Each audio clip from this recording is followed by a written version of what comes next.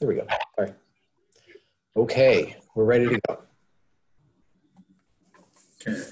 Chair Clark, Present. Vice Chair McCann, Commissioner Baker.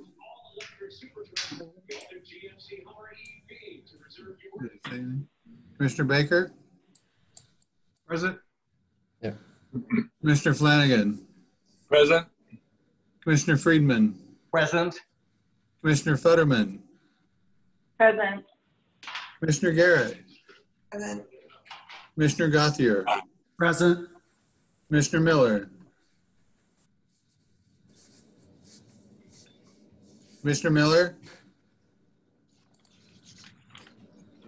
She's muted. she's present. Um, Yep. We have a quorum. Okay, Hey, thank you. I'd like to welcome the commissioners and staff members and visitors that we have tonight. There will be time for public comments later on in the meeting.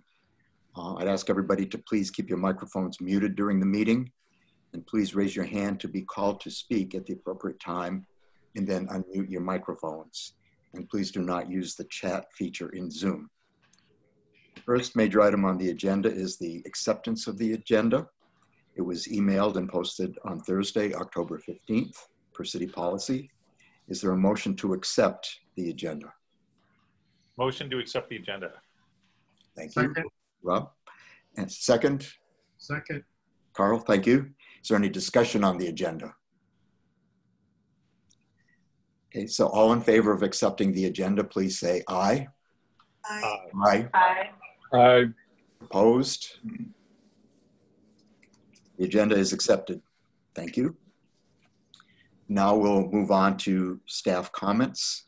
Um, Patrick has covered them in some detail in a, in a memo that was in the agenda packet, but now he'll speak further, I assume. Yeah, so I just have a couple of uh, updates to my update. Uh, so first of all, with regard to council meeting topics, um, the planning uh, department did create a survey to get more input on their um, the general plan priorities. So um, I imagine that they'll be getting some additional input from businesses on that front. Um, so we'll see uh, if they get any comments on the existing priority language. Um, uh, the uh, the the council did have a few general comments about it, and they were actually all more sustainably oriented, um, like not promoting traffic, uh, not promoting parking downtown, um, and things like that, and, and walkability and things like that. So, um, so very much in support of some of the changes that we made um, uh, to that document, as well as uh, additional changes that they'd like to see that are more sustainability oriented. Um, the second thing is um, for the meeting coming up this week, um, the EV streamlining permitting uh, agenda item was not included, so I assume that will go onto the November agenda. Um, and then the other thing is I wanted to mention that I will be doing a, a short presentation on a, um, a street lighting project by Southern California Edison. They are converting uh, the rest of our um, uh, street lights over to LEDs. And so there's about 500 uh, remaining street lights that they're going to work on uh, probably in November to December timeframe. So I'll give a presentation on that uh, tomorrow or on uh, Thursday evening. And Jim, you have a question. Yeah, did, could you repeat, what did you say that, so the, the city council members were accepting of, of parking, paid, paid parking? I missed what you said. No. So Okay. they, um, one of the items that's included in the priorities in the general plan is some language, uh, I think it says something about promoting parking downtown, and they said, we absolutely don't want to do that. Like that's Oh, not, good, okay, not where we're going. So, yeah, okay, thank you. yep. So, um, so that's it on the uh, council topics. Um, I did want to just report that we had a very successful shredding and e-waste event. Um, a big thank you to Commissioner Miller who came and uh, stayed through about 1030, uh, helped us out a lot in terms of directing traffic. Uh, and Dan and I were there um, for the full duration and we were joined by Gary for a little while in the morning and uh, he looked great. So uh, we appreciate his help in um, helping us get set up for that and to um, make sure that that all flowed smoothly. So, um, so I don't have numbers yet uh, on that event, but uh, hopefully we will get them. We might be able to get them this week in advance of the council meeting. But uh, but it was very successful, um, and people were there until the bitter end. So, um, I, Yeah. Patrick, I have one question. sure. I got a message from uh, my friend um, Brad Furr, who runs a media outlet, and he said he received the news release from Amy Blaisdell on October 14th, and it was his, he complaining to me that that wasn't enough time for him to do anything. So I, I, it sounds like it was successful, but I don't know if he just got mixed up. and didn't get the original communications. But if we're sending out uh, news releases on the 14th for an event on the 17th, I'm, um, he was a little concerned. Well, so we advertised that primarily through Nextdoor and Facebook. Um, and then Amy was out actually for a good part of the week. So I sent it to her. I've, I, I think I had gotten it to her earlier, but she was not in the office until that Wednesday.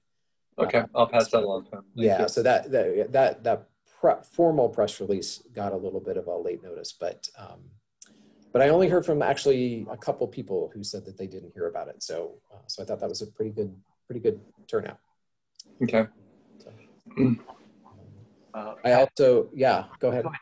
David. Yeah, um, since you had mentioned, um, the EV, um, uh, the EV ordinance, uh, the AB twelve thirty-six this morning, I attended, I was gonna cover that under EV charger, but actually is more related to the city council. So this morning, there was a very helpful Cal EV IP workshop on streamlined permitting, which is exactly, uh, the twelve thirty-six ordinance. I should receive the slides tomorrow and I'll forward, uh, them over to you. There's a lot of, um, information, in particular about accessibility, um, for handicapped. Um, so what I'd like to do, particularly since there's a little bit more time, because we've got three weeks in between Thursday's council meeting and the next one, is I'll take a look at the draft ordinance based on what was on the agenda from March um, and pulled and let you know if there's, uh, I'll, I'll send you over the slides, but use that just to um, double check what the ordinance says, the draft. Um, if there's anything else that I think that we should, uh, we should include, um, I will send that over to you, uh, hopefully by the end of the week, early next week. All right, great.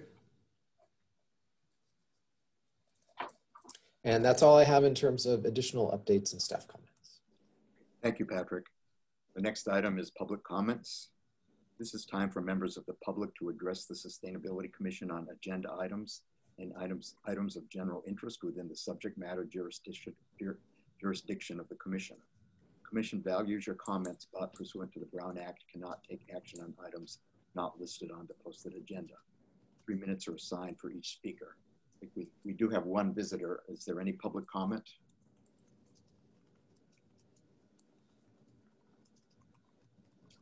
I guess not.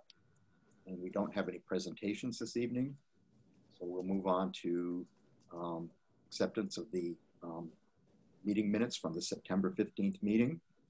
The minutes were emailed and posted on Thursday, October 15th. Is there a motion to accept the minutes from that meeting? Uh, Chair Clark, I'd like to move acceptance of the minutes of our September 15th meeting, and I did send two very minor corrections in. One was a slight tweak um, to the reference to the SCE um, reach code, which was actually after the meeting, and I'll talk about that later. And second, on DCE, uh, I was the one who made uh, the comment and not Commissioner Baker. So um, with those two uh, small corrections, I'd like to move acceptance of the minutes. And I've already sent those corrections into Daniel and uh, Patrick. I I made those corrections. Thank you. Thank you. Is there a second? Second. Who's the second? I second. Okay, thank you. Um, all in favor of accepting the minutes, please say aye. Aye. Aye. Any discussion? Further discussion? I have to abstain. I wasn't there. One abstention and any noes? Okay, minutes have been accepted. Thank you. Now we'll move on to old business. And a number of these items are covered as well in the memo that Patrick included.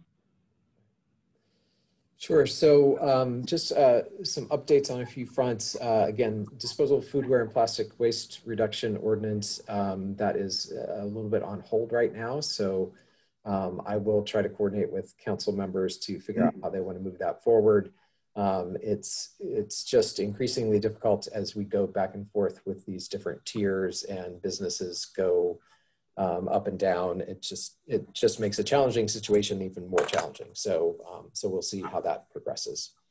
Um, the in terms of the climate action roadmap, uh, David and I have been working on uh, just keeping that document up to date and uh, based on the things that are happening. And um, so we continue to update that. We had hoped to get it onto the agenda um, for the 8th, and that did not happen. Um, and so now we, we are going to wait until um, November, most likely uh, when uh, commission, uh, council member Holstege is uh, back from maternity leave. So uh, it's my understanding she'll be back in November. Uh, we should be post-election then, so uh, so that'll also be important for us to know in terms of um, who's going to be on the council next.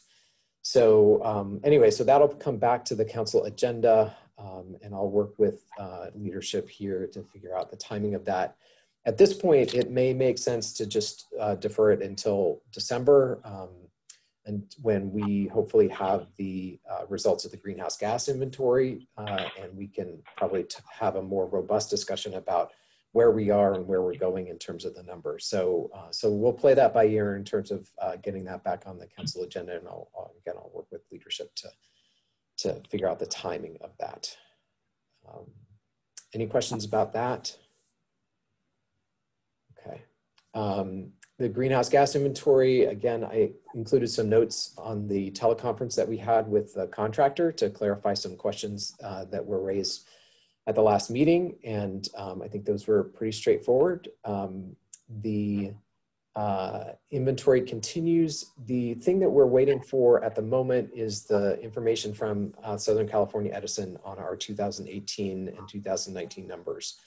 So I have requested those. Um, it's kind of a process for them to get them to us. So we're expecting those probably late this month, early next month. So hopefully we'll have those by early November so that they can continue on their analysis for the current uh, numbers as well as the projection to, uh, projections for two, two, 2020.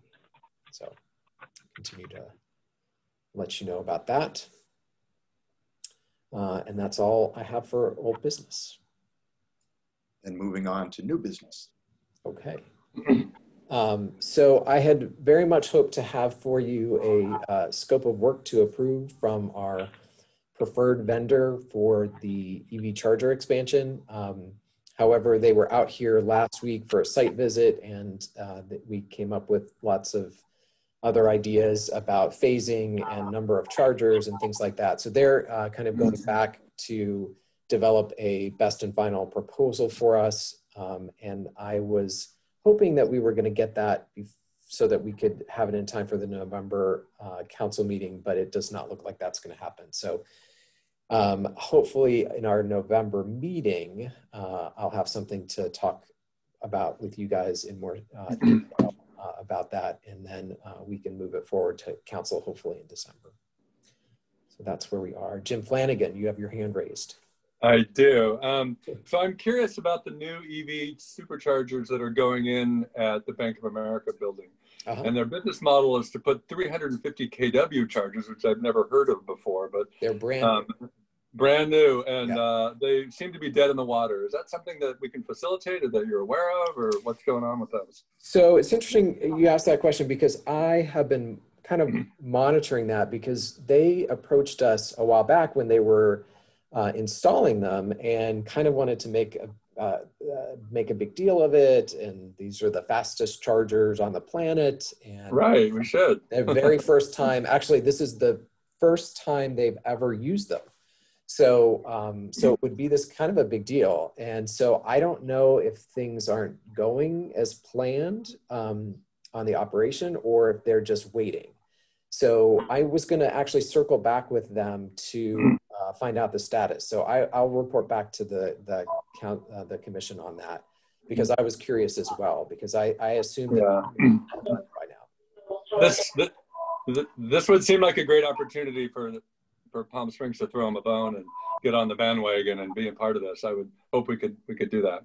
Yeah, it was it was actually kind of an interesting situation. They were they were all gung ho for it, and then they kind of uh, um, said they didn't want publicity, and so they were they would let us know. Um, so I'm not sure not sure exactly where that is. So I'll I'll reach out to the folks that contacted me and, and see if I can get some clarity on that. Great, thank you very much. Sure. Um, all right.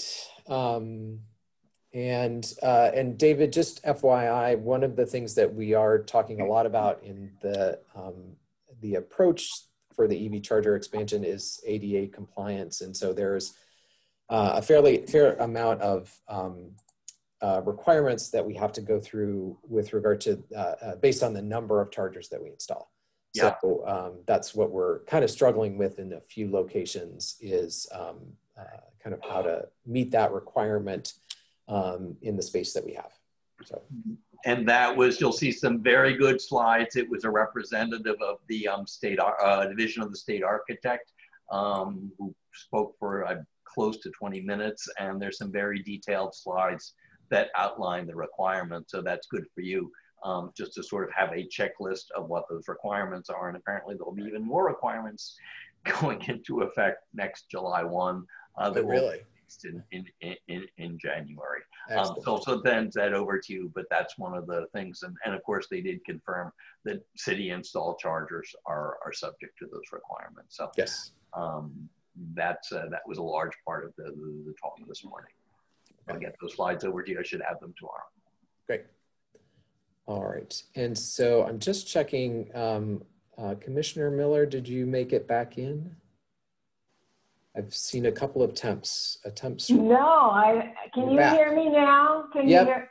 Yep. Okay, okay, well, you're, for me, you're cutting in and out. It's, pretty bad. Um, I, Oh. I had a problem with a Zoom meeting a couple of days ago and, uh, I thought I had corrected it. I'd gone and, you know, rebooted everything and actually went to Spectrum.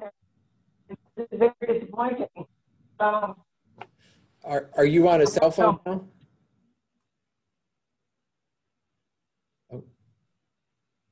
Lonnie, are you on a cell phone now? You're muted because you're, you're breaking up quite a bit. Oh. Yeah, and you too for me. So Huh. it sucks. Okay. Um, To have this unstable internet connection. yeah, Uh, like, I'm sorry. um, hmm, trying to think if there's a workaround for that. Don't stop. You know, Okay. I it. Okay. All right. Uh, we shall move on. Um, and uh, the next, let's see. Um, so, um, so as I mentioned, uh, the EV charger expansion is still a work in progress. Um, it is significantly more complicated than I had ever imagined. So, um, anyway, so we're working through it with the engineering folks.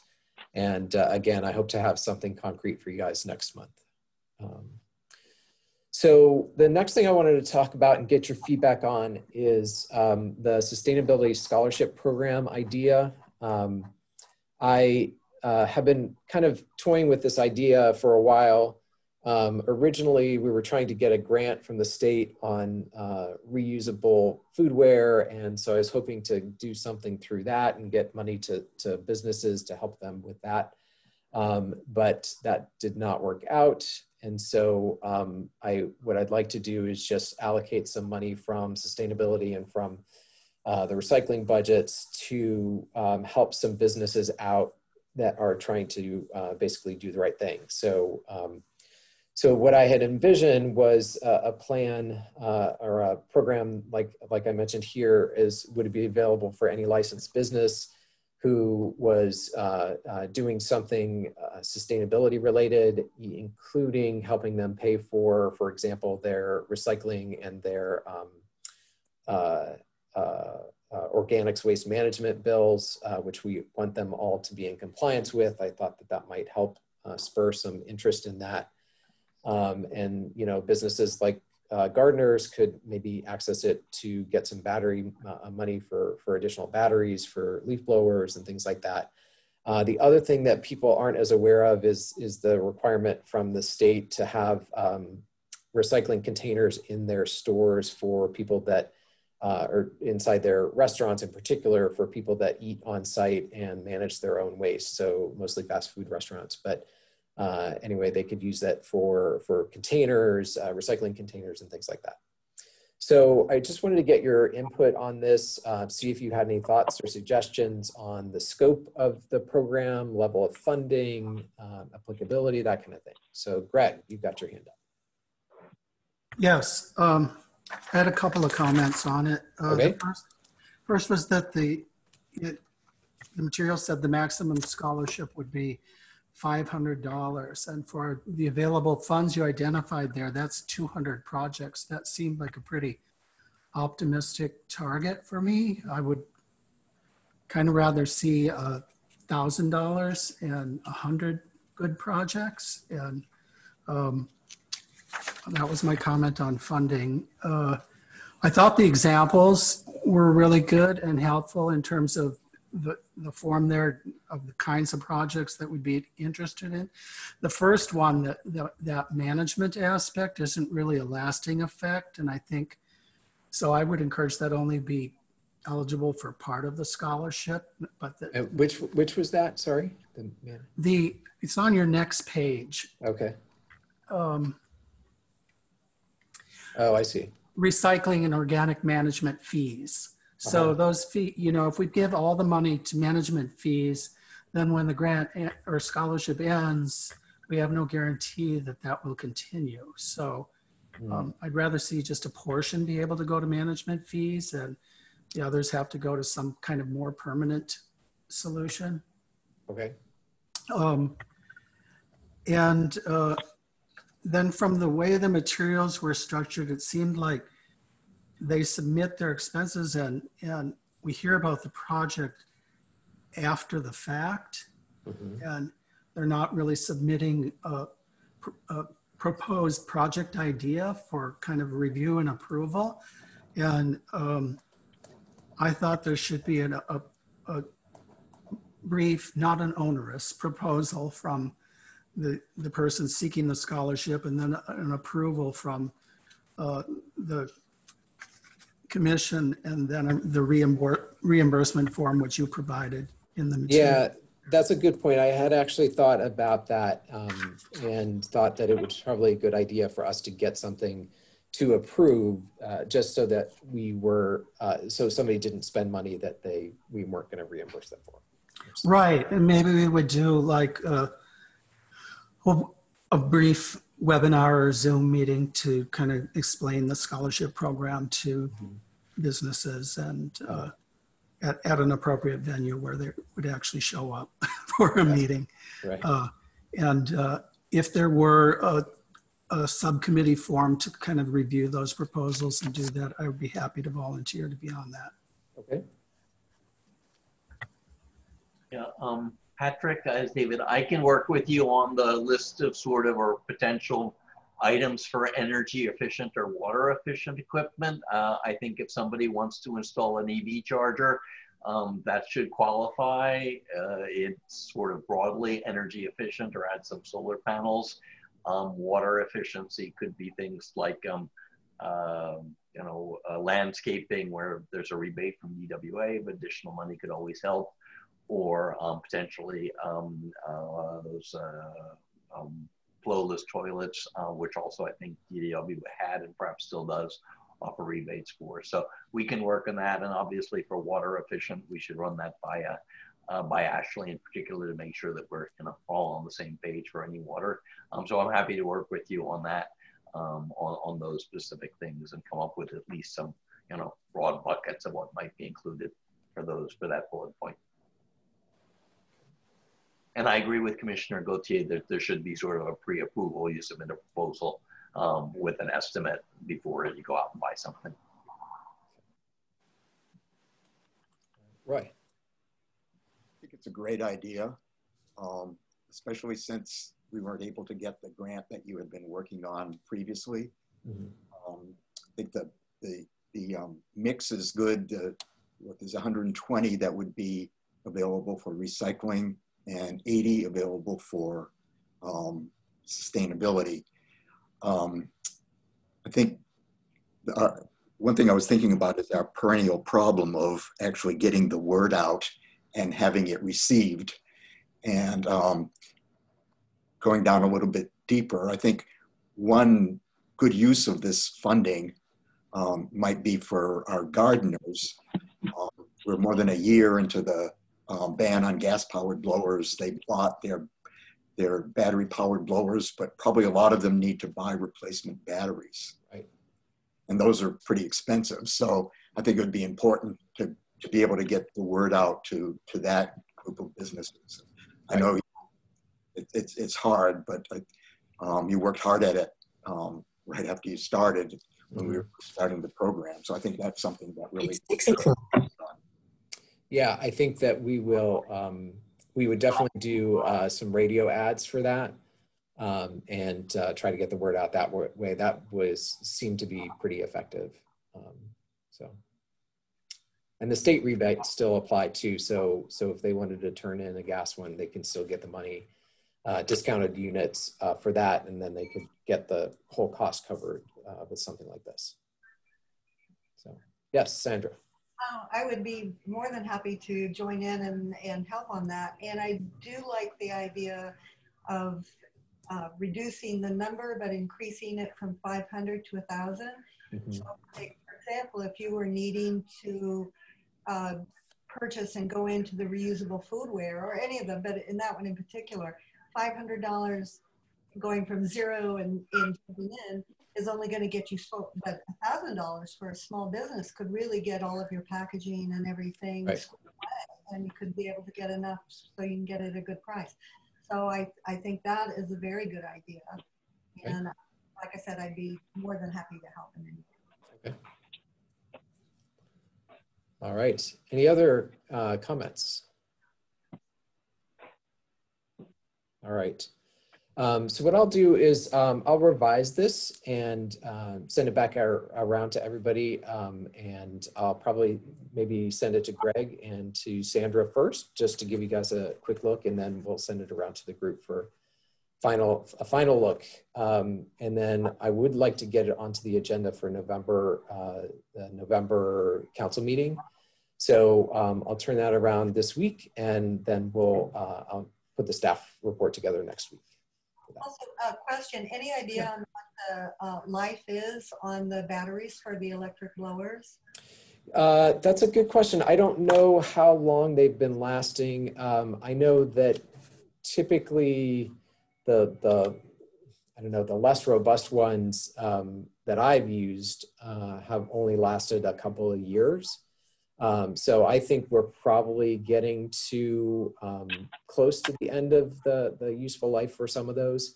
I did see a few of them show up in um, at the uh, uh, drop off uh, this weekend. So, um, so we might be seeing some some more of those. Um, I can ask. I can also ask the um, the lawn care guy, the uh, at, at Yoshi's. He should know that too. So, but yeah, At the beginning, I think a lot of people were buying extra batteries. yeah, You need to replace them by now. right, right. Yeah, I think it is good timing. Okay. All right. Um, any other questions, comments? All right, super. Well, we'll put that together so that that's ready, uh, again, uh, ready to go to council next week. I, I, I'll, I'll run it by uh, folks internally just to make sure there's nothing that I'm missing in terms of, um, uh, I don't know, I's and T's and, and crossing all the necessary things, doing, uh, crossing the necessary bridges to get this done. So, all right. Thank you. So let me go back up to the agenda. Um, So All right, so that was the end of new business. Right, and now we'll move on to standing subcommittees and commissioner reports. So the, the first item is the standing subcommittee for solar and green building. Okay, I can uh, start off on that. So um, lots of webinars in addition to this morning's 90-minute webinar on, um, on EV charger uh, permitting. I've been continuing with my webinar attendance, um, see what other local jurisdictions are doing in the energy field. Um, so as I mentioned earlier, on September 29th, I, I was a speaker at the SEC, uh, SCE, me, webinar on reach codes um, and reported on our progress and the slides from that webinar are in the packet. We had about 30 people um, from various jurisdictions uh, attending, including a representative from Palm Desert from our area was on the line. So I think that was good, uh, uh, a good attendance. Um, Reach Code team had a webinar last Wednesday on cost effectiveness of residential retrofits, including some of the measures that were discussed in the draft climate um, action roadmap. So um, as Patrick mentioned, I'm sort of keeping that up to date. So I'll update the cost effectiveness chart and draft so, uh, staff report once the new version of the Reach Code study uh, is, uh, is released next month. If that's uh, in time for the uh, November council meeting if it's on that agenda. If not, um, I'll obviously continue to keep that up to date. Um, and also on the Reach Code side, I've been asked by the Reach Codes team to serve as a beta tester for their new cost effectiveness app that's on their website. So Patrick, if you could let me know if that's okay, um, so I can get advanced access to the app data um, and, and, features uh, that'll sort of help keep uh, the information up to date. So just uh, check in with that and let me know if I can sign up for that. Uh, next is the Home Energy Audit Program, and that was approved by the Commission last year, uh, last October. And so um, also in your agenda packet, got the uh, uh application form, and Patrick and I have worked on that. And I think, Patrick, that hopefully should be ready to launch in the next uh, few weeks. So um, one comment I had on that, uh, David, was um, do you think it's worth including in there some reference to the SCE program that if they still offer it uh, to do some sort of a free energy audit or free energy assessment? Do you know if they still do that? Um, what I am aware about, and that's a, a, sort of getting to the DCE side, but it's something called the um, ESA Energy Savings Assistance Program, um, and it's for CARE/FERA customers. And oh, when, okay. um, so I'm aware of that. I don't think there's anything available for regular customers, and and it's tricky for between DC and SCE. But I know that ESA um, is still uh, available, but the CPUC uh, suspended it in um, uh, in May because of COVID, or maybe even earlier, April, because of COVID, and I don't think it's come back online yet. Um, so let's hold off on that, and I've got a on the DC side, I call in with with Benjamin on Thursday to talk about um, various things. So um, we'll cover that perhaps in the uh, DC side, Patrick. Um, and then if I get any more information, you can also add it to the website or you know tweet the form if necessary. Sounds good. Thank you. Uh, okay, so that's it for there. And and um, so once that's uh, uh, launched, then we'll do some publicity with a, a press release from maybe Blaisdell and uh, the schools. We can publicize it in our office of neighborhoods report. and finally, Patrick and I have are continuing the discussions with National Renewable Energy uh, Lab about their streamlined solar app, and we have another call tomorrow afternoon. And we'll be joined by the building division staff person who handles solar permits, and if she's uh, interested, hopefully Palm Springs can sign up as a beta tester uh, for that program, and it um, is part of just sort of automizing, make less less work for the uh, for folks in the building division and the solar installer gets an immediate permit and their fees are about 20 to 50 dollars. So it's a it's a win-win for everybody and no cost to the city for being a beta tester on the app. So that's it for my report but lots of things that we're working on right now. Thank you. Next is standing subcommittee on waste reduction. So um, I the big thing that we were working on uh, this past month was the um, annual um, report to the state uh, that documents our um, waste sent to landfills and our recycling activities. Um, that report is uh, quite lengthy and um, involves uh, data from lots of different sources. I did want to just mention at a high level um, the recycling and waste to landfill numbers. Um, and let me just minimize you guys. So hopefully you can see the chart here. Um, it has two things on it. So the big orange bars are the total waste that we send to landfills each year. And this, uh, uh, I tried to do it back to 2009. Um, and so just to show you a, a, a trend in um, increasing amounts of, of uh, waste going to landfill. Um, the other line that you see, the gray line in the middle, uh, is our per capita disposal rate. Um, so that has gone from about seven uh, or so, um, 6.7 I think was the lowest point, um, and now we're, we hover around 9.1 is, is kind of where we're at right now uh, in terms of um, the per capita uh, disposal rate. And so that's um, 9.1 pounds per person per day.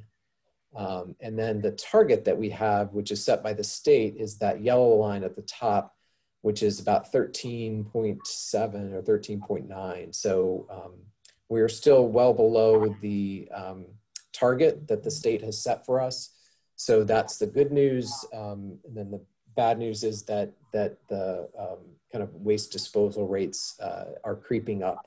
So um, again, we need to make sure that we're we're continuing to promote recycling and waste reduction efforts and um, making sure that we do that, especially uh, as we go forward here.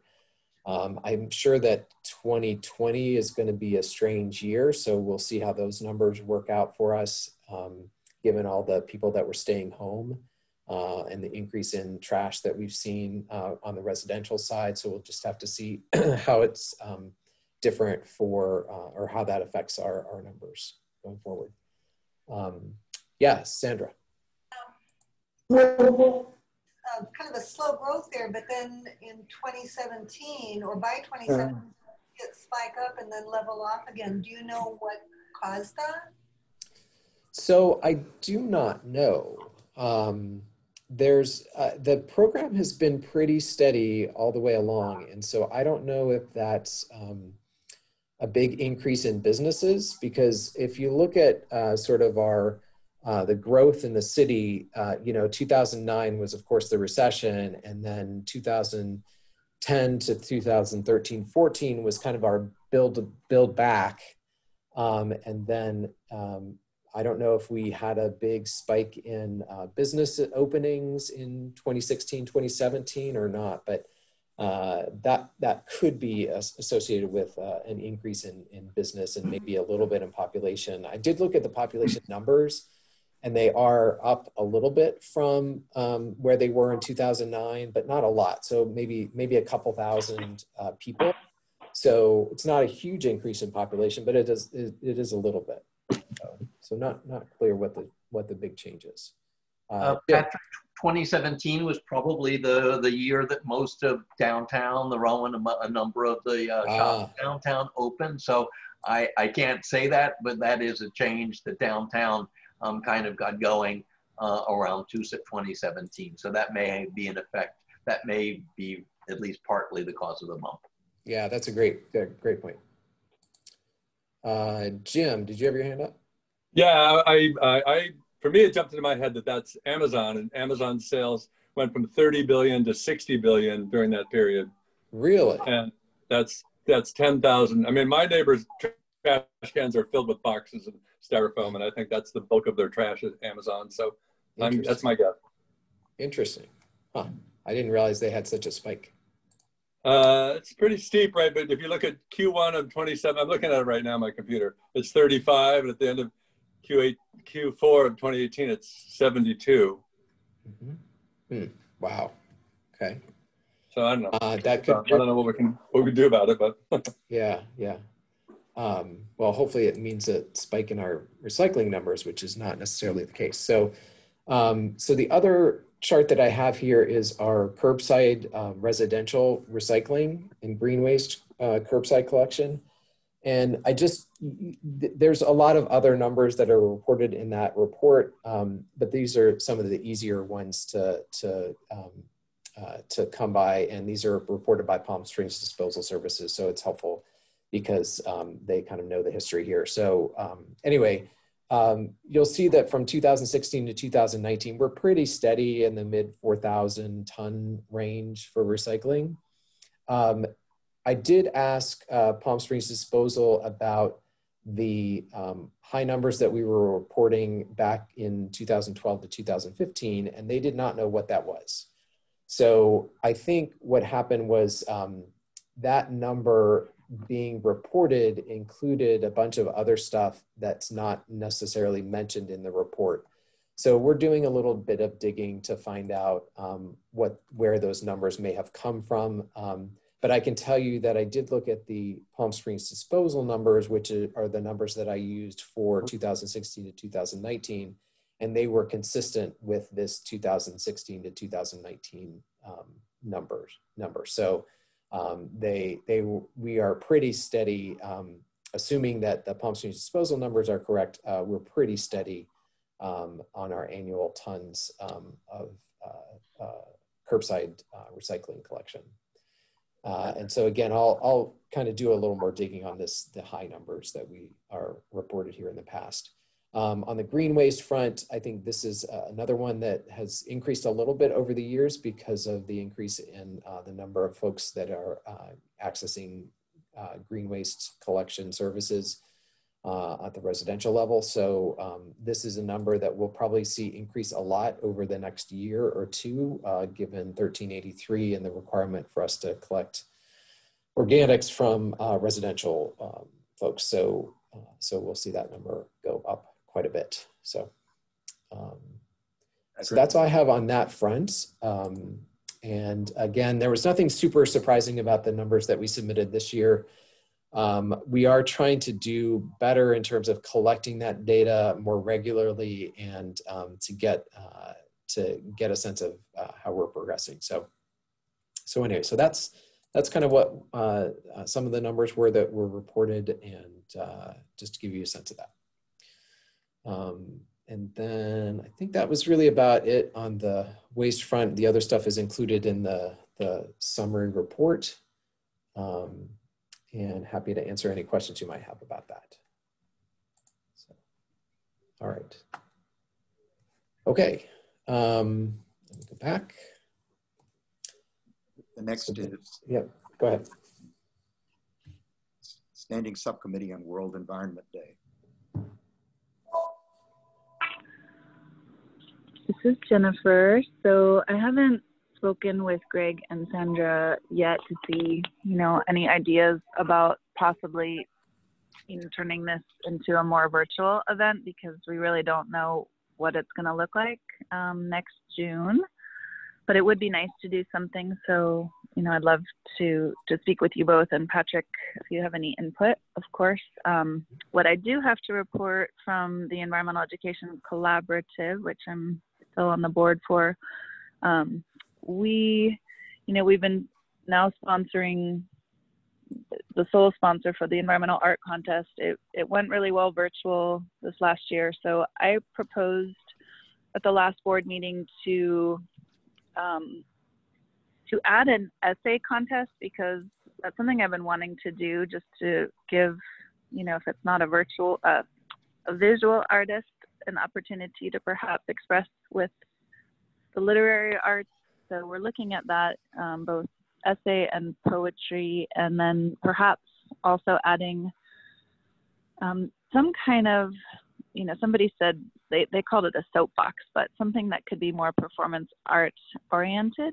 So if we had some different options of how specifically students, but of course adults, if they want to participate, they're welcome, um, so that we could increase the opportunities while everyone, you know, may still be um, quarantining. So those are kind of interesting ideas. You know, I don't know because we probably will be looking for other sponsorships if the commission would like to maybe be a sponsor again. So we sponsored, you know, we're co-sponsor for the contest for a few years. Um, so that's something I just wanted to to propose. and see if there's any feelings on that. But it, it just seems that this next year is so uncertain that whatever we can do to support students while they're at home, you know, um, to increase the opportunity for critical thinking. And um, we're also thinking about a theme, you know, in the past, it's, you know, for the last 15 years, I've been rotating the five elements. Um, for the younger kids, it seems like that's probably the easiest to keep that. It's going to be water again, um, which it just seems so crazy that these seem to rotate so quickly through five year cycles.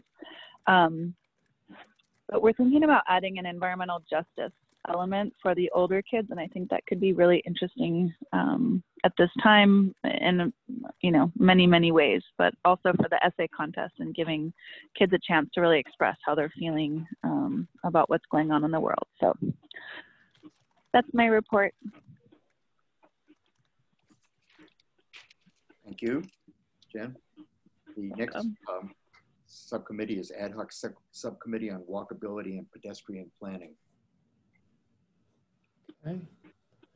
Um, so we did have, uh, I did have a call with the contractor last week and I, uh, we had a call with the ad hoc committee yesterday um, to provide the contractor with a little bit of feedback on uh, some of the recent materials. So um, just to update you on the status of where they are, um, they did issue uh, some invitations to uh, some individuals to participate in a community advisory committee. We tried to identify groups that were already engaged in pedestrian safety efforts, as well as um, the local business community, the tribe, and some other organizations. So um, hopefully uh, we, we got a little bit of feedback, uh, at least from a couple people so far that were interested. So we hope to have the first community advisory committee meeting in November, uh, probably uh, November 18th after our next meeting.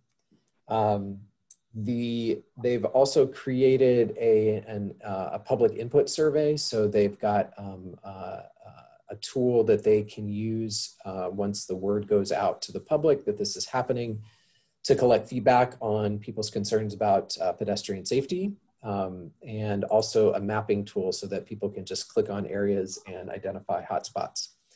Um, the first community advisory committee meeting will be focused uh, on two things. One is just reviewing kind of the, the priorities for the project and the scope and, and just their role, uh, but also um, they, what we hope to have uh, for them to look at uh, right off the bat is a list of projects that um, and concerns that people have already identified um, and how those kind of stack up uh, based on the priorities for the, the project. So, uh, so anyway, so uh, we don't want to start from ground zero on this. We want to start from what we've heard already and get additional input from, from the folks that are on the committee. Um, the other thing that I think the committee would be helpful, will be helpful for is um, identifying pedestrian opportunities. Uh, so we want to make sure that in addition to addressing some of the uh, problem areas that we have, we want to also make sure that we are identifying and building on potential pedestrian opportunities like the new downtown park, um, the renovation of the town and country, and the new cultural center um, for the tribe. So so anyway, so that's really the uh, where we are with that. Um, the consultant is really leading that effort, and we're trying to provide input along the way. And um, but that's that's where we are at the moment. Any questions?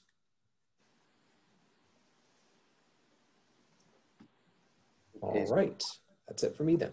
Okay, so we'll move on to Ad hoc Subcommittee on Bicycle Routes and Cycling. Oh, that's me.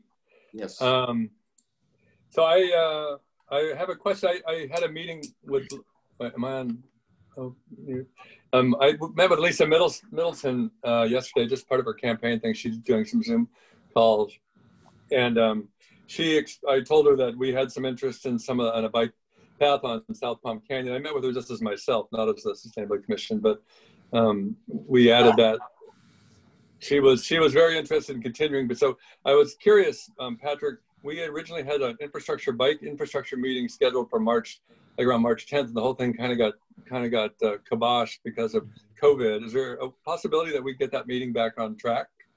Yeah, in fact, we should do that because um, the other thing that's in the works is there's a new grant under development on sustainable transportation that's going to be coming out here uh, very soon. And so we want to be primed to submit something for that. So, uh, so yeah, I was thinking about that. When you mentioned you were meeting with her, I was thinking, oh gosh, we had that meeting set up with her and we just, just Yeah. But it was, And I think now that her campaign's kind of over with, she has a little bit more time. So maybe we could. Do you want to take the get that going again, or should I, or what can we do? uh, sure, I can uh, reach out to her and see if she'd like to uh, start thinking about rescheduling that. Okay, thank you. That's it. Thank you. Next is Ad hoc Subcommittee on Night Sky. Uh, let's see, we, um, uh, we, well, I sent out a a memo today to, uh, can, sorry, can, am I being heard? Yep. Yes. Okay, good. Uh, so I sent out a memo today to uh, Patrick and Roy for um, review that uh, that we can send to the appropriate um, government agency here in, in Palm Springs.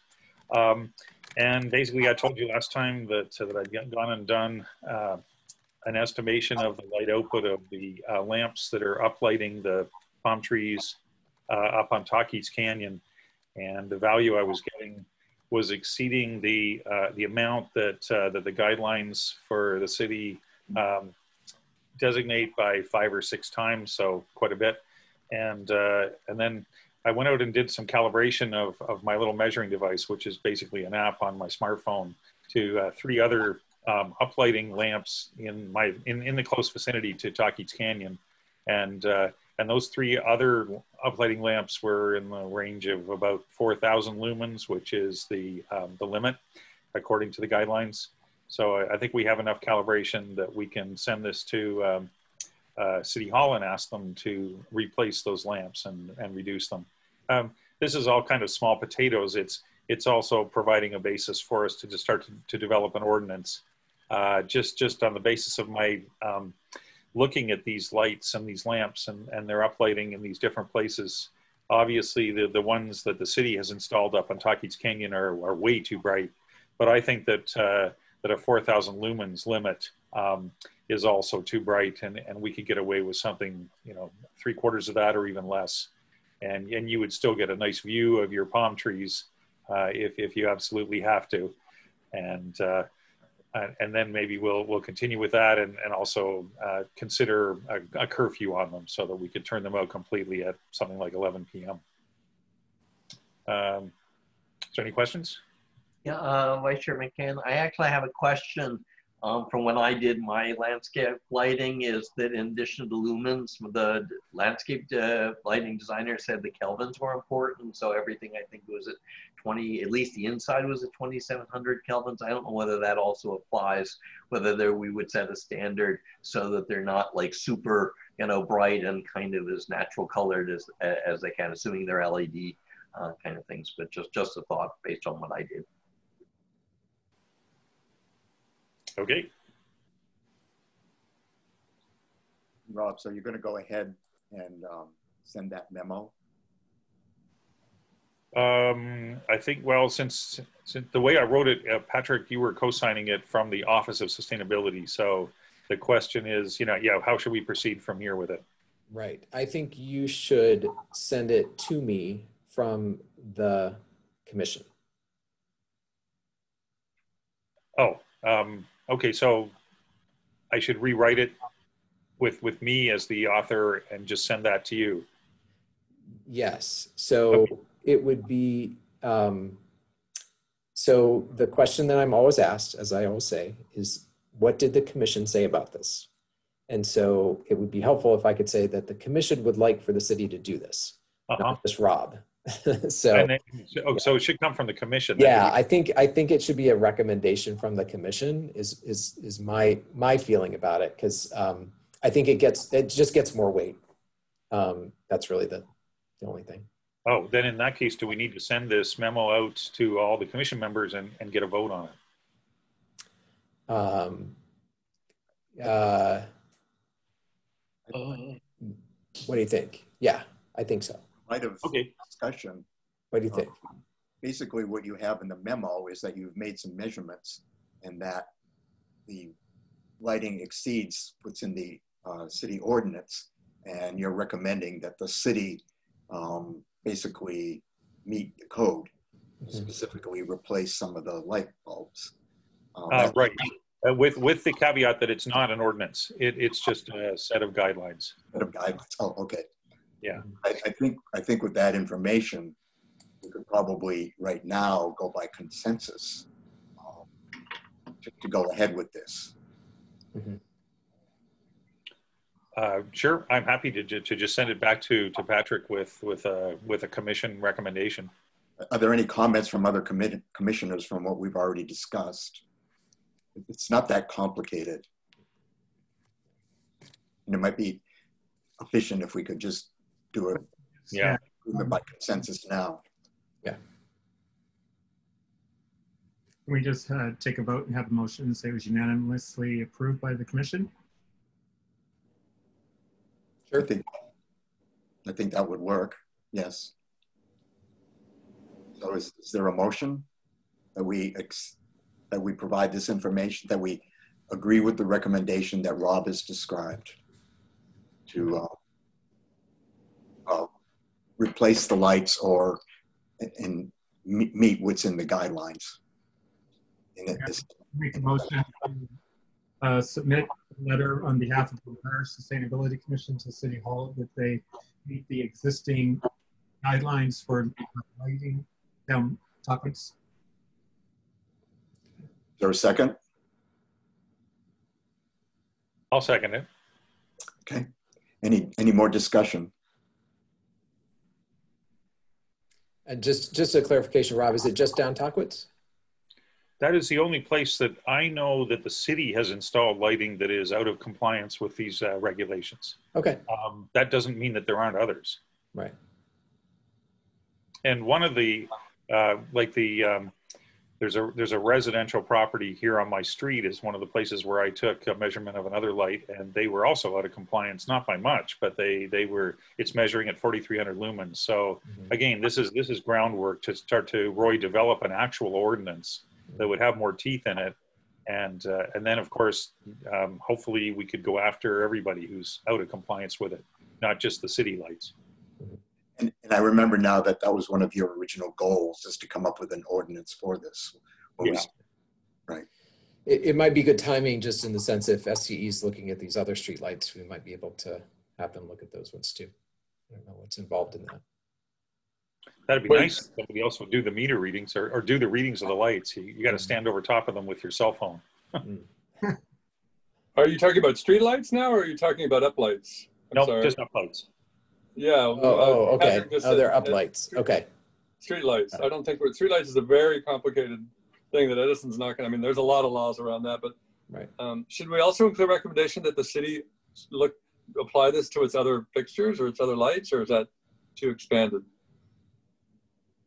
I mean, it's not really our job to go door to door and check all these things out. It would seem that, well, uh, I guess And that's, my recommendation could be to, to, to address those and to investigate others. yeah. Well, okay. So should I should it be to investigate other city installed uplights or Yeah, that's all. Yeah, Yeah, just, yeah. just Yeah. city installed ones. I mean, you Yeah. shouldn't have to go do this door to door. Yeah. Yeah, I know. Okay, that sounds good. Okay, So, so that additional. um, Yeah, that'll be an additional recommendation, not just to replace the lights that I've discovered are out of compliance on Tahquitz, but they should do their own assessment of all of them and see that they're in compliance or not. So we can include that as part of the motion. Right. Any, any more discussion? All in favor of the motion, please say aye. I, Aye. Aye. Opposed? Aye. Opposed? So the motion passes. Thank you, Rob. Okay, So the next report is the Ad hoc Subcommittee on Strategic Planning and General Plan Update. Uh, so I've got nothing more to report on that. I think we'll maybe try to convene a meeting next, next month. Um, we'll see what happens with this additional input that the planning folks get on the general plan. Thank you. The next topic is water conservation. Uh, okay, um, um, two updates from DWA's uh, board meeting this morning. Uh, first, I updated them on, on the city council approval um, on the 8th of the uh, concept design for the demo garden and the turf conversion at the airport and thank them for their support. Of course, quite happy about that. Um, the board approved proceeding with an MOU for a backup uh, powered battery to me battery powered generators at two of their facilities, um, which would be funded under the CPUC's um, SGIP program. Uh, and then, as I mentioned, I think last month, DWA has now adopted a new reporting system for water use reduction, uh, which is required by the State Water Resources Control Board. Uh, the new system is based on water production, including leaks instead of water consumption. Although DWA did report um, uh, the water reduction for September on both production and consumption, and it was roughly 8% for both of them. Uh, last month was very hot. So, and of course, I think it's the beginning of overseeding. So that may be why it's um, less of a reduction from the 2013 target um, than, than previous months.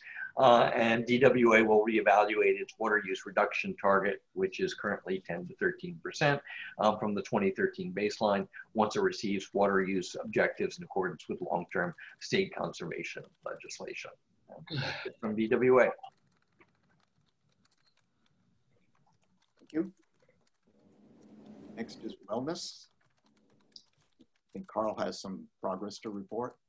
Yeah, so I'm meeting with the representative from uh, Parks, I mean, not Parks and Rec, from uh, Human Rights Commission uh, this Friday to discuss the coordination or the combining of our two proposals so we can get some more movement on this smoking resolution going forward.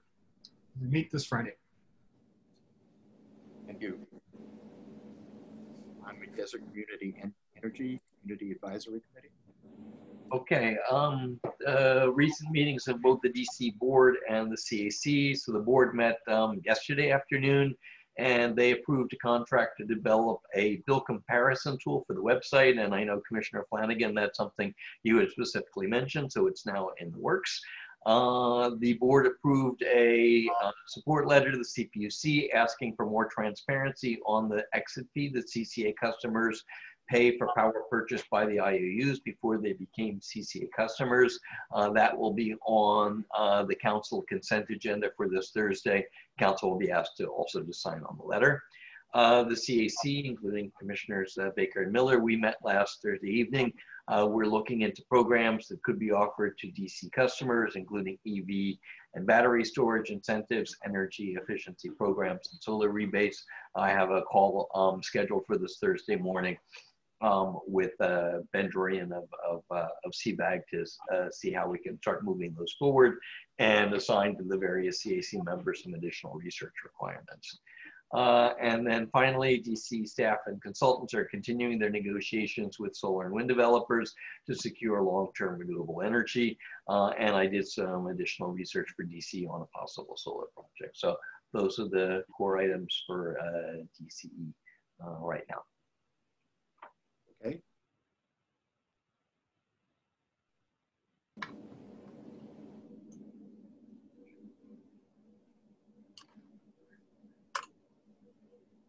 I think the screens froze for a moment. At least mine did. Okay. All right. So, so now the final item on the agenda is um, commissioner comments and upcoming agenda. So we'll go around the room around the city, so to speak. Um, let's see, we'll go by the agenda. Commissioner or, or Rob, Vice Chair McCann. Uh, no comments. Okay. Carl? No comments. Jim? Um, I'm a little curious about the, my parking structure project, and I'm interested in anybody has any thoughts about um, weekend parking fees for the multi-story structure when that when that parking structure is so overloaded as a way to uh, discourage driving and encourage uh, other forms of transportation. I'm not sure where to go with it, but if anyone has any interest, maybe contact me separately or. So Jim, the problem is most of those people I would imagine are coming from exterior locations like Palm Desert and, you know, so they are driving. Most of my friends now, we take Uber when we go out on the weekends. Well, we don't know that, but the problem is that that, that lot is jam-packed every single night. So if nothing else, it's a way to generate funding because even if you charge three dollars, it's mostly tourists that are using it. And I would think um, that maybe the, some of the locals could avoid using it, but I don't know. It's just it, maybe this is outside of sustainability, and this is more a revenue generation thing that I'm thinking of. But I, I, I guess I'm the getting at that we're spending half a million dollars to subsidize driving, and I, you know, it just it irks me a little bit. So not sure where to go with it though. Is the Buzz Bus running anymore? Uh, yeah, it's a good question. I don't know. That would be Oh. a source of funding for the Buzz Bus, though. No, because that that was dropped in the in the austerity budget. That's So- an interesting point, though. If the Buzz Bus were to relieve parking, um, funding might be able to be freed up from the parking structure to fund for the Buzz Bus. So, um, something to think about. So Jim, is this something you'd want to discuss more in a future meeting or I'm just wondering if anybody else besides me is interested in this, or if not, I'll, I'll kind of put hold, I'll put a hold on it. And um, you're welcome to contact me later if you like, or now. Can I So- suggest maybe that it would fit in because it is uh, it is a subject and uh, and as Patrick mentioned um, was discussed in the uh, by council in the general plan update. So um, maybe as that would help to sort of provide some input as we we help uh, the planning commission and city council develop uh, the sort of uh, lower you know lower tier goals. Um, that would be good. So I I'm not volunteering for it but I could see a place for um, fitting it in in the general plan update, given council's comment from their meeting two weeks ago, um, that they're not necessarily going to be encouraging additional parking. Well, I can bring that up. I'm replacing Commissioner, um, who left, um, on the general plan. Committee tonight. John Yeah, Goins. uh, Commissioner Goins. So I can bring that up at our meeting in November. So would it be, uh, Commissioner uh, Chair Clark, would it be uh, helpful if I were to spend, you know, 15 minutes doing a little update, maybe for the next go around about how much money comes in and how many people use it, and if I can find any information about who uses it and things like that, just so we could just kind of get an overview over whether this is something we might have an interest in? I- I think that would be helpful, yes. And in the meantime, Ca- Carl can talk to the, the steering committee and uh, see where that might fit in. So I think we Okay. have.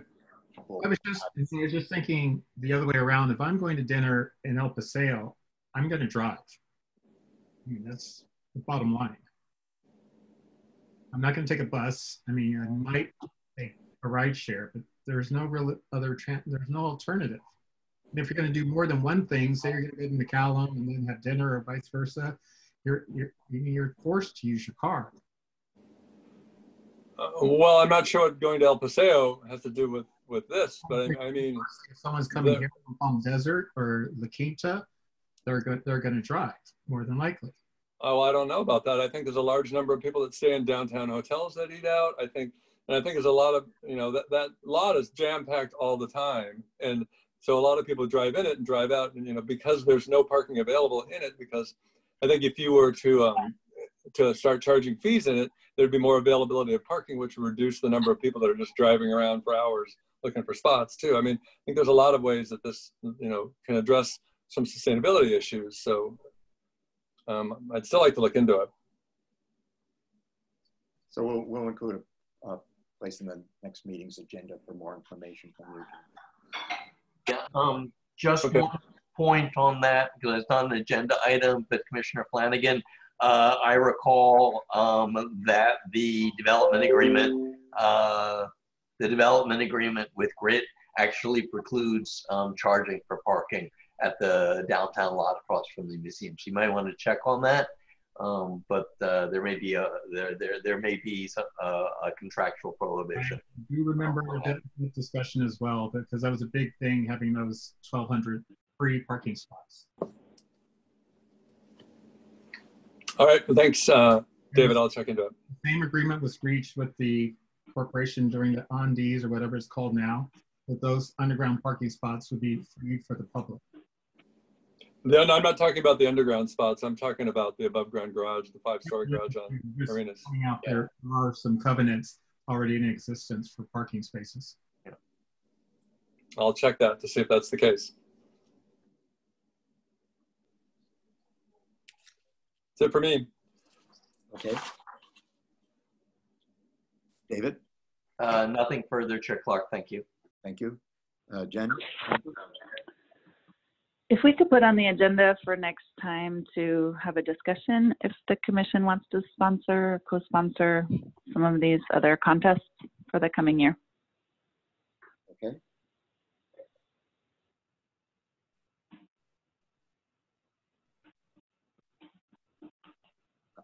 I have that down.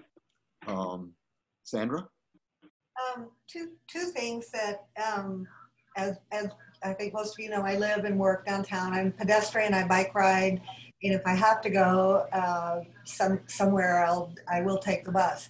Um, during the summer, the buses, of course, become kind of housing during the heat, uh, for homeless people.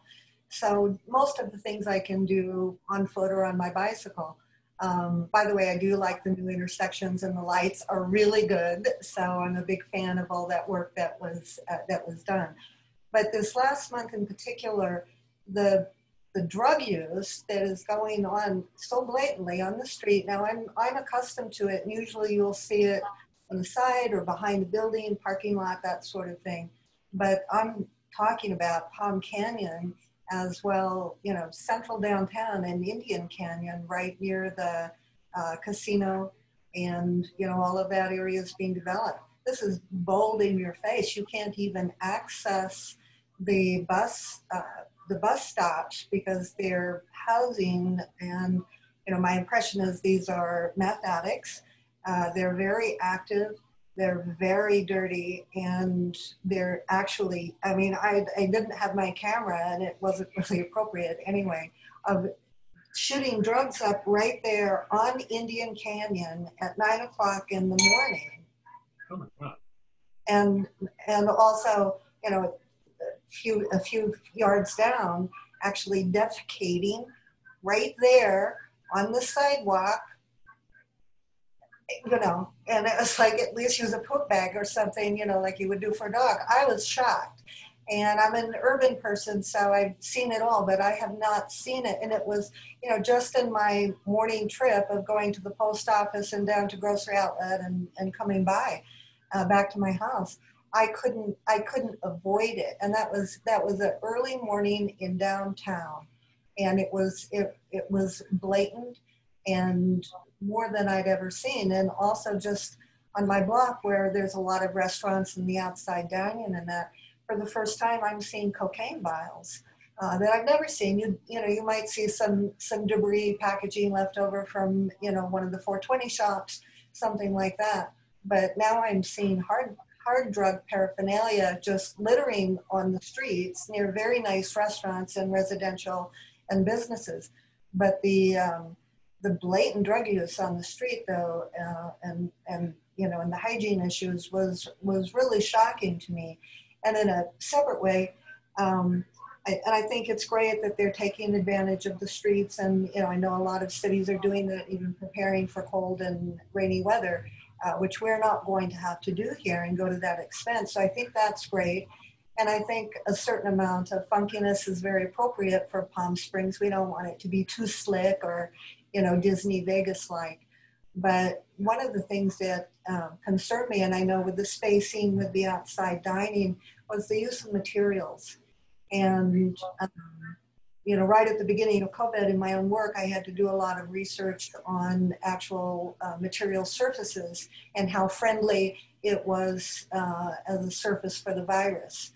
Um, the least friendly uh, being copper, and plastic being the most friendly where the virus can live on it for 72 hours. So what I'm seeing with most of the restaurants in downtown is a lot of use of plastic at a um, eye level, shoulder or eye level. So, and some of it is that kind of uh, artificial box hedge uh, that you'd use in a display, but this is also sitting outside in hot sun for hours day after day. I'm hoping that they would disinfect it, but then what does the disinfectant do to the quality of the plastic that was never meant to be cleaned on a regular basis like that? It's just display stuff, but it's plastic. But what I'm seeing is the, the use of so much plastic um, that is meant to be protecting people from virus.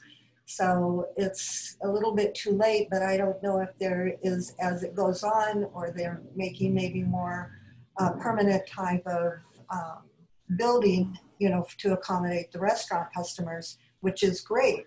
But maybe some sort of help on using those materials. And I was, you know, I was thinking, e- even without going into the expense of pure copper, you could use a copper coated uh, wire mesh that would you know, still have airflow. It would be easy to clean and it wouldn't be virus friendly. So I think there are some things that we could do just as far as providing information uh, to the restaurants and the, and the merchants about what materials are probably more successful in doing what they're trying to do of creating safe zones for people to sit and eat and, you know, and uh, have a, have a nice time out. So I think that was something uh, that just got overlooked in the in the rush to increase business again. But it concerns me because one way or another, you've got plastics breaking down in sun, and hopefully they're disinfecting them. But plastic is is the worst thing that they could be using as a as a barrier. So uh, that was just um, you know my street beat reporter uh, from downtown. So for what it's worth, it might be something that we might be able to help them with, and not it's not just putting up uh, partitions. And you know the difference. I'm not looking for uniformity. Like I said, I, I think all of that is is very in keeping with the spirit of Palm Springs. But the use of the materials, particularly the plastic, uh, I think is questionable and also not maybe not healthy. So you, you have a specific proposal for a future discussion by the commission or action? I think so, uh, to help guide those merchants that are doing the outside uh, dining. And now if you have, you know, classes, churches, things like that, where they're doing worship outside, you know, while we're in, uh, you know, in more restricted areas, um, it would be helpful for people to know what is um, more effective and you know the the copper coated uh, is not expensive, and there's also from you, know, I mean we've we've gotten them from landfill in the past. The copper plates, they're copper plated that they use for printing. Once they're used, they throw them away, you know, and they develop beautiful verdigris and stuff like that. But they're they're thin, they're like very lightweight thin, so you can use them decoratively, um, but they're covered with uh, pure copper.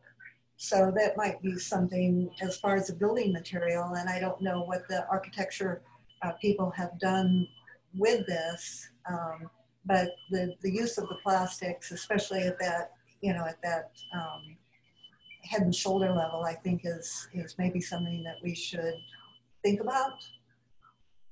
Okay. Maybe at least give a list of, of um, preferred materials. So would you like to make a more specific presentation at the meeting next month with recommendations? Okay, okay. You can have that as new business. Thank you. Greg? No comments. Thank you. Lonnie, are you there? Hi, uh, no comment. Okay. I'd just like to make uh, one comment. Um, I think you all know that uh, we currently have two vacancies on the commission, uh, John Gowen's position and T. Santora's position.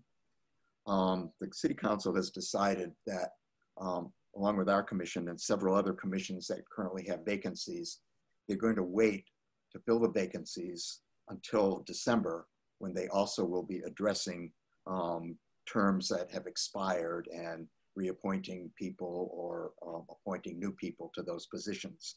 So there won't be any additional selections uh, or appointments um, to, to the commissions until, until December. And um, Patrick and I did work on a short recruiting document for the commission, which talks about what we do and also um, what our immediate focuses are for the next year. And that has been posted on Facebook, and Nextdoor. So are there any other comments before we adjourn? See, our next meeting will be November 17th at 5:30. Is there a motion to adjourn this meeting? Motion to adjourn. Thank you, Rob. Second? Okay. Who was that? Who was that? It was Carl. Oh, Carl. Okay, thank you. All in favor, say aye. Aye. Aye. Hi. Aye. The meeting is then adjourned. Thank you very much. Thank you.